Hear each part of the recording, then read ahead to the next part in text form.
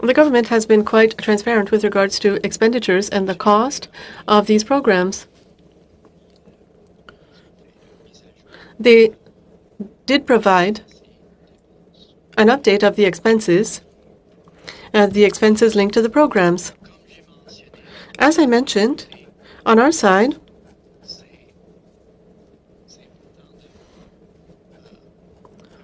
it's important to have a plan. We need to have a scenario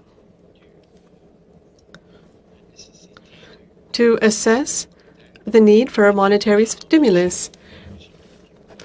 In our next review of the monetary policy, we will provide a scenario. So if I understood correctly, in April, April was a difficult month. March, rather. March, difficult. April, more stable. Then there was a, a growth in the economy in May. So with what you've mentioned, the fact that there is no economic update done by the government, does this, does this hinder your work in any way? As I was mentioning, for us, the most important thing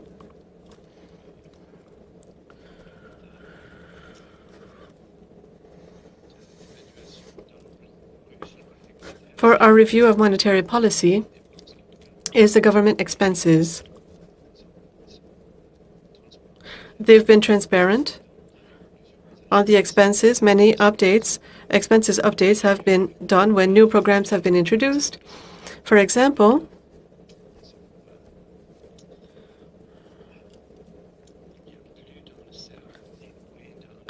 there's more in the CERB, less in the wage subsidies. What are your expectations with regards to consumer behavior after the crisis? And also, is there a change of behavior specifically with regards to the digital economy?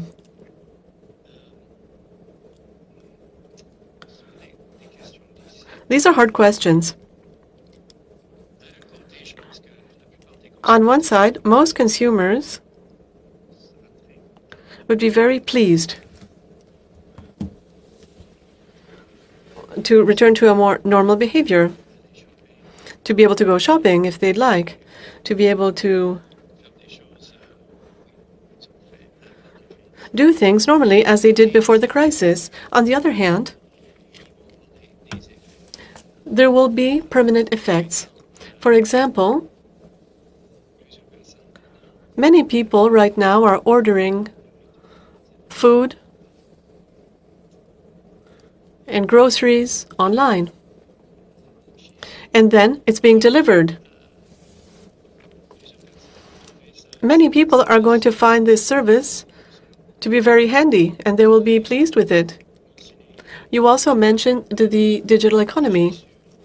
I'm sure that this crisis is going to accelerate a huge trend, a huge economic trend, where new technology is changing the face of work, is changing what we do for recreational purposes, for fun. So it's, it's quite difficult because we're at the beginning of this, we're in the beginning of this process, and it will be important to better understand uh, what will be uh, more permanent changes. So maybe ask this question in a future meeting, and I might be able to better answer. Uh, Miss Wilkins, you were uh, shaking your head there. I don't know. Did you want in to give a supplementary there? Okay. Uh, Mr. Uh, Julian. Uh, thanks, Mr. Chair. And uh, just just a comment before I, I start with my questions. Uh, uh when $750 billion is being uh, handed in supports to the banking sector at the same time as people with disabilities have not yet gotten a cent uh, in this country, I think that's why there's increasing resentment people with disabilities are trying to put food on the table, keep a roof over their head. Uh, they've received not a single dollar. Uh, $750 billion, three quarters of a trillion dollars has gone to the banking sector with the, uh, with the results that uh, I mentioned earlier $5 billion in immediate profit so far in the pandemic. But as you mentioned, uh, Governor Macklem, uh, 700,000 700, deferred mortgages uh, that all come with penalties and fees and and compounded interest charges, which means the windfall profits for the banking sector are going to skyrocket uh, later on in this year. Uh, so that's my comment. My, my question is more uh, on the issue of climate change. And thanks for uh, talking about uh, the importance of a whole of economy approach. Uh, I and Deputy Governor Wilkins mentioned the issue of the risks of transition We'd like to hear uh, how the Bank of Canada and you, as, as new governor, how you evaluate the cost of climate change so far per year to the Canadian economy, what you think the, the cost is, and how do you see that growing over the next decade if we do not take uh, the, the action that is required to reduce uh, greenhouse gas emissions? Uh, well, governor. I'm not. I'm not going to give you any numbers, but um, I'll give you uh, some uh, different ways to evaluate that question. So, uh, as Senior Deputy Governor uh, Wilkins highlighted, uh, the most sort of visible, tangible risks are the costs of uh, extreme weather events. And we're seeing that with increasing frequency in, in sort of the eastern half of the country. Uh, that manifests itself mostly in increased flooding, in particularly in the west, uh, also in the north. Uh, it's manifest uh, in uh, increased forest fires. And, um, you know, one way to measure the cost of that, I don't think it really it really captures the human cost, uh, but you could, you know, the Insurance Bureau of Canada can show you uh, the quite dramatic increase that they've seen in their claims related to extreme weather uh, over the last 20 years. Um, with with respect to the um, with respect to the you know uh, other costs, um, so you know we're going to need to adapt to climate change. Some parts of climate change are irreversible. Uh, so we're going to have to invest in the ability to adapt to it. We're also going to have to invest, and we are investing in mitigating climate change. Um, and you know those investments um, will cost money, but not doing them is going to be a lot worse than doing them. Uh, Mr. Julian. Oh, you're giving me extra time, yes, Mr. Chair. Yeah, I am. Uh, you uh, you give the other guys four minutes, so I'll give you the same. Go wow, ahead. that's wonderful. Well, let's go into the issue of uh, offshore tax havens. The Parliamentary Budgetary Officer a year ago evaluated the annual hemorrhage outside of our country and what should be tax dollars used in common. 20, $25 billion a year, and that's a conservative estimate. Uh, he said um, for the Bank of Canada, is that a concern? Do you have a position on this hemorrhaging of tax dollars overseas? It doesn't create jobs in Canada, it doesn't provide uh, that uh, economic stimulus here that is needed. Uh, does the Bank of Canada have a position? Have, have you made recommendations around that? Do you not feel that that, plus the complete absence of taxation for the web giants like Amazon, is something that government should be dealing with? Uh, Governor, uh, what you can beyond uh, what is the policy for the minister. Answer what you can. Uh, well, I think I think you pretty much nailed it. I mean, the, the, these are issues uh, for the government. These are issues for parliamentarians. These are issues for the Minister of Finance. Uh, so, you know, they're, they're not really in the purview of uh, monetary policy. Okay, before I go to you, uh, Mr. Cooper, I do want to come back to the point that uh, Peter made in the beginning on the 700 billion, 750 uh, billion dollar support uh, to the banks, and I'll ask this to you, to you, Governor, because I think the there's some who will view that 750 billion dollars in liquidity to the banks that it is going to the banks.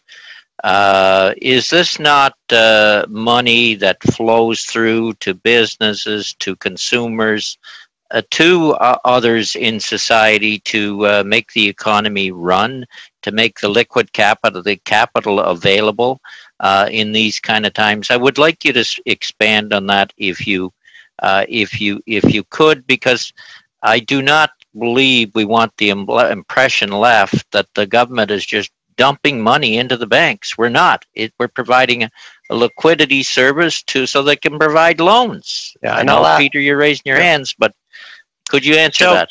Uh, yes, Chair. Uh, your your understanding is is very clear, uh, and I'll ask Senior Deputy Governor uh, Wilkins in a minute to say a little bit about the evolution of those liquidity plans, but uh, liquidity programs. Um, exactly as you describe, um, these uh, these um, programs from the Bank of Canada, uh, as well as uh, other uh, other uh, programs. Uh, these are um, effectively loans.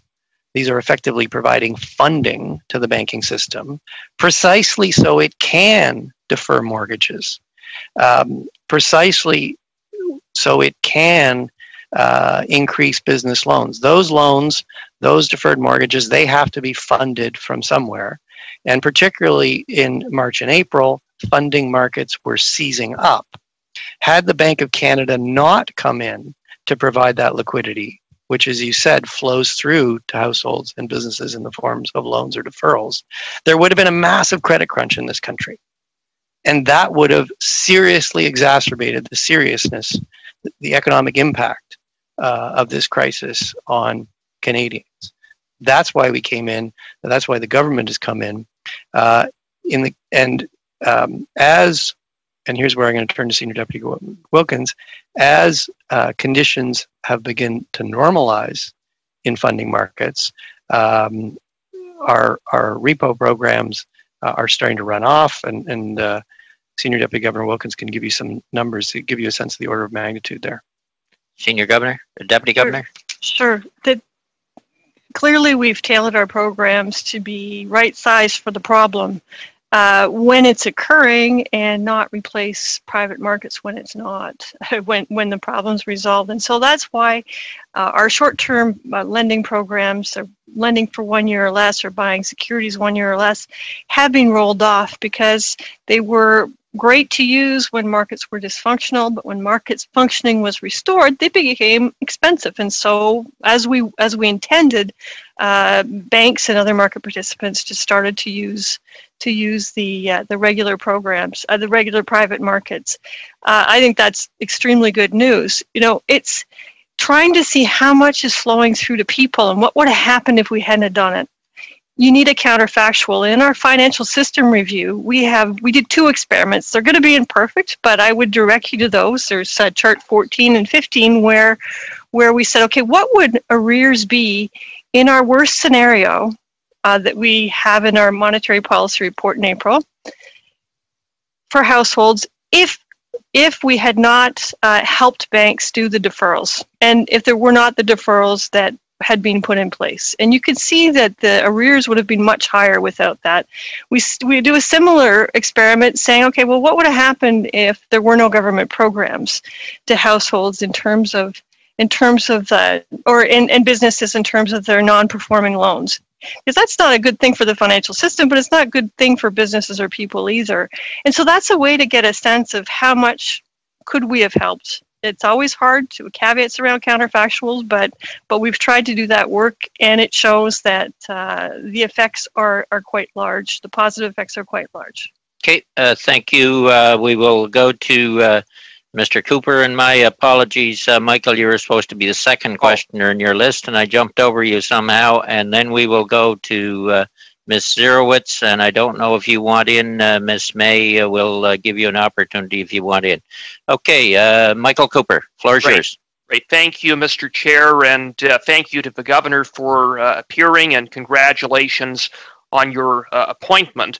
Uh, I just want to ask uh, a few questions uh, to seek uh, an update on some of the uh, extraordinary measures that the bank uh, has taken to deal with truly an extraordinary set of circumstances uh, arising from uh, COVID 19. Uh, and in that regard, I would be uh, curious if you could provide uh, an update on the provincial uh, bond purchase program uh, and the dollar value of purchases under the program to date. Yeah, I, I'm going to turn directly to Senior Deputy Governor Wilkins, who was instrumental in setting that up. Go ahead. So you'll recall that we set this program up to purchase bonds of a term to maturity of between one and 10 years across all the provinces of up to 50 billion. And, uh, and uh, to date, we have uh, purchased $3.5 billion worth of these securities uh, through a, a third party asset manager. Okay, and uh, also uh, along the lines of providing an update, uh, could you also uh, provide an update with respect to the banker's acceptance purchase facility? For sure. Um,